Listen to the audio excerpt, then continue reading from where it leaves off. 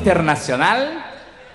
Ladies and gentlemen, with a live voice and with no tricks, please welcome the incredible Ikenna Benéy.